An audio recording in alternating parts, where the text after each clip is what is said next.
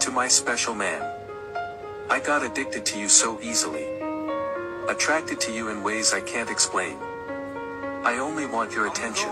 I care about you more than you think. I think about you more than you realize. I appreciate you more than you will ever know. No words are amazing enough to describe. How fantastic you make me feel. You're the fire and the last thing on my mind each and every day.